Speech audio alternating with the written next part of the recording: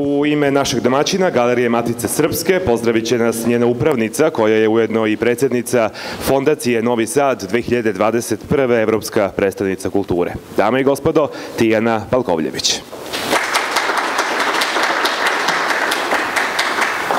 Moram malo da spustim ovo. Nisam još uvek velika kao Robert, ali porašću i ja.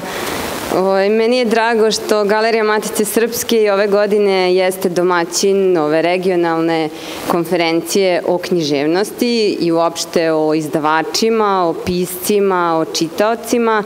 Mi negde iskreno verujemo da je to i naša publika i da nije bitno da li se priča o knjigama ili se priča o slikama, izložbama, da su problemi isti, ali da su rešenja ista.